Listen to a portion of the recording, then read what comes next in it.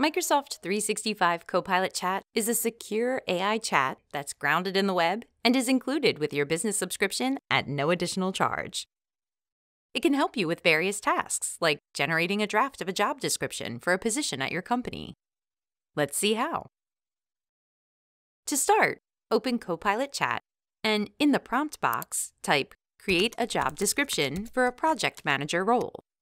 Select Send and Copilot Chat will generate a response. Next, add additional context to generate more detailed results, to make the results more concise, or to include new sections that you'd like to see. If you are satisfied with the draft, you can ask Copilot Chat to create a Word document, which you can open from here and continue editing. You can do things such as adding company information, removing anything you don't need, adding more details, changing formatting, and more. Finally, it's always a good idea to review the entire document to make sure everything looks good. When you're done, share the document with others.